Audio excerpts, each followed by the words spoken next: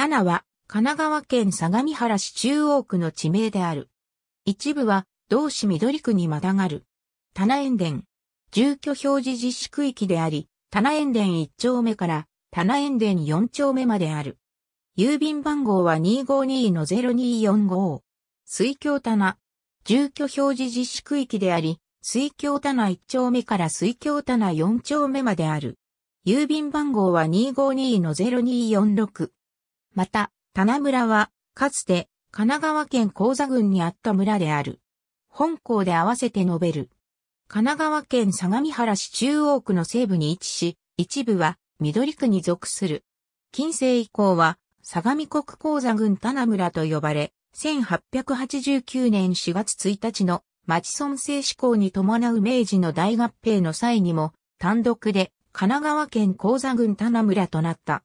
1941年4月29日に上水町、座間町他郷村と合併して神奈川県高座郡相模原町の一部となり、同町の大あざ棚となる。1954年11月20日の市政施行により、相模原市大あざ棚、さらに2010年4月1日の相模原市の政令指定都市移行により、大部分が同市中央区、一部が緑区に属することになった。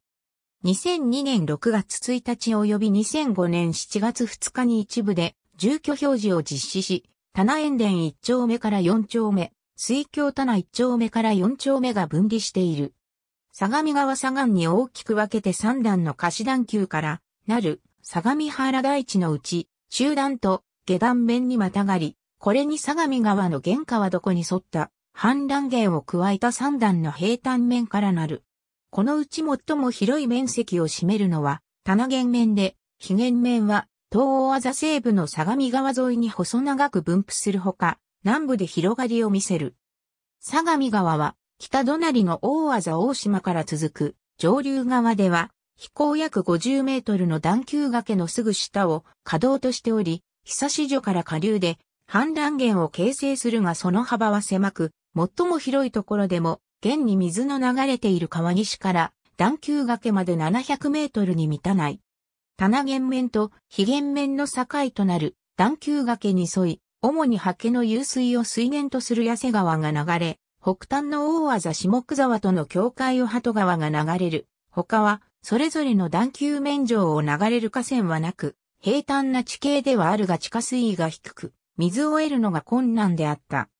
したがって、古くからの集落はかろうじて水の得られる、鳩川沿い、棚源面と非源面間の段丘崖沿い、相模川沿いの段丘上、毛地、塩田。ただし水場は段丘崖の下である氾濫源内の自然堤防上に分布する。後に遅れて棚源面上の四つや新宿の集落が成立した。水田として利用できたのは、八瀬川沿いのごく狭い谷の部分と相模川沿いの氾濫源のみであり、毛地の段丘外下の氾濫源を利用して開かれた水田地帯を毛地田んぼと呼ぶ。広い面積を占める段丘面上は水が得られないため水田として利用できず、畑地として利用され、特に養蚕が盛んであった明治から昭和初期にかけては桑畑が広がっていた。養蚕の衰退後は主に野菜が生産されている。平坦な地形でありながら、国鉄横浜線の各駅から離れていたために、宅地化の波及が遅れたこと、また東に隣接する大あざは水との境界に沿って国道129号のバイパスが建設されてトラック輸送の便に恵まれていたことから市の誘致策もあって1960年代以降大小様々な工場が進出した。三菱重工業と新キャタピラー三菱の大きな工場を核とする北部の棚工業団地とこれに付随する清水原工業団地及び赤坂工業団地は市内を代表する工業地区である。2000年代に入り、南部の塩田地区でテクノパイル、棚工業団地の造成が始まり、中小の先端技術産業の誘致が進められている。また、合わせて、段丘外下の非限面上で、九州落部分も含めた全面的な区画整理事業が行われ、住宅団地の造成が進められた。この区域では2002年に住居表示が実施されて、棚塩田として分離した。相模川沿いの自然堤防上の久し所地区は、戦国時代には北関東と小田原を結ぶ街道が、また、江戸時代には同じ道を利用した大仙道が、相模川を渡る地点に成立した渡出集落としての機能を持った。古くは、相川と呼ばれたとされる相模川は湯量が盛んであり、風光明媚な景観と相まって大正期以降、久し所地区は東京や横浜からの手頃な行楽地として水京棚の名で知られるようになった。これは長らく周辺の鉄道各駅からのバス路線の終点名として用いられ、さらに2005年に久し所地区で住居表示が実施された際の新町名として採用された。久し所地区の氾濫源は、毛地田んぼとともに相模原市内で数少ない水田地帯であったが、1970年代後半以降の宅地造成によって水田のほとんどが消滅した。1970年代には段丘免状にもようやく宅地化の波が及び、横浜線各駅との間にバスの便のある北西部で農地から宅地への転用が進行している。住宅地の地価は2017年1月1日の工事地価によれば、棚座、石上平4312番3の地点で9万7000円、平方メートルとなっている。相模川沿いの段丘崖上には、早くから集落の形成が見られたと考えられており、塩田には後期旧石器時代末の遺跡とされる棚、向原遺跡がある。古代以降は、相模国鉱座郡に属した。鉱座郡内に設置された里の一つとして、和名類受賞に記載のある塩田号が東大寺内の塩田周辺に否定されている。江戸時代には鉱座郡棚村とされ、後期には隣接する大島村と共に全域が下野烏山藩の飛び地領となった。これはほとんどの村が愛旧とされた相模原地域、また、高座郡北部では珍しい例である。烏山藩の支配のもと、幕末の1858年には、久し所の自然堤防東側の水田に、相模川本流から水を引き込むための用水が建設されたが、1860年洪水によって堤防が決壊し用水は破損してしまった。地元の有力農民であったえなり久兵衛がこの復旧に乗り出し、28年の年月と資材をかけて築堤事業を進めた。彼の築いた堤防は、旧米堤防と呼ばれたが、現存しない。村内には、新炭の確保に適した山林がなく、相模川対岸の山地に入海地を持っていた。また後には、大地上段に広がる原野の一部が分割されて、当村の飛び地となった。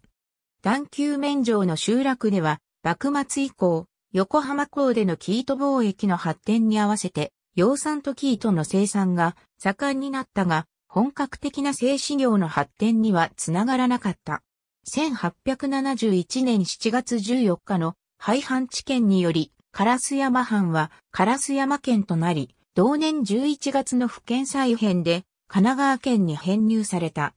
1889年4月1日の町村制施行の際に単独で、高座郡棚村となったが、その際に相模原免状の飛び地は、溝村に編入された。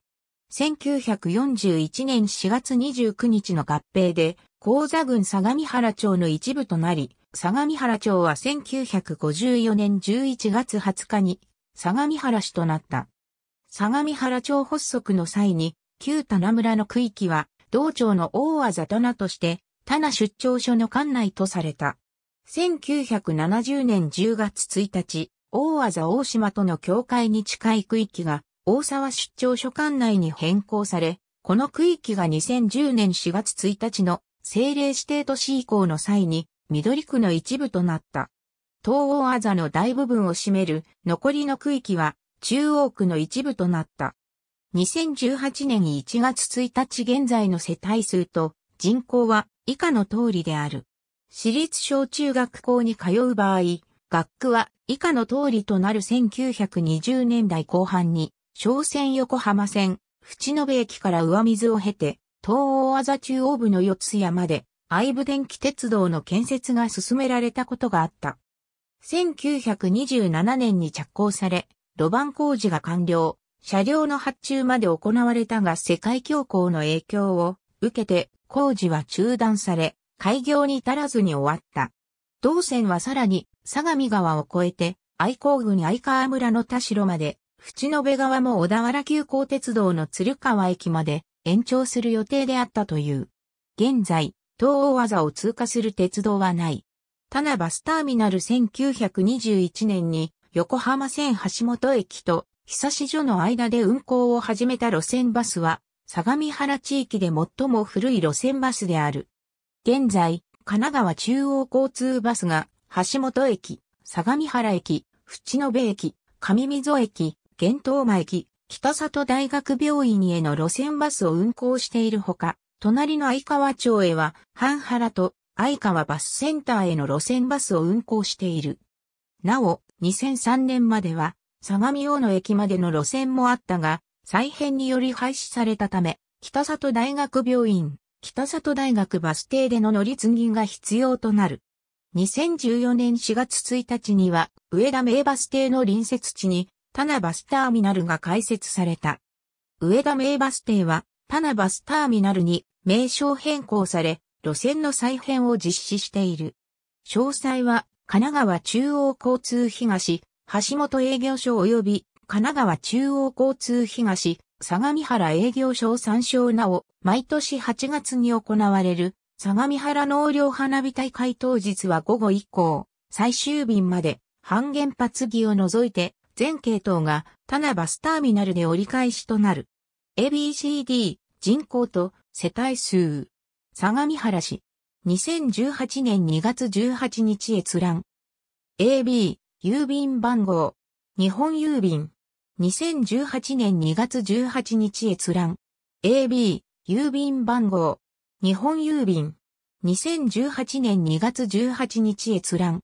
ABC、市外局番の一覧。総務省。2018年2月18日閲覧。AB、郵便番号。日本郵便。2018年2月18日閲覧。AB、郵便番号。日本郵便。2018年2月18日閲覧。地形区分の際の段球面の故障は皆原だが、集落名としての読み方は、皆原である。国土交通省地下工事、都道府県地下調査明治初年に、津久井郡と解消、小中学校の通学区域。相模原市。2018年2月18日閲覧。棚園田、水郷棚の区域も含む。ありがとうございます。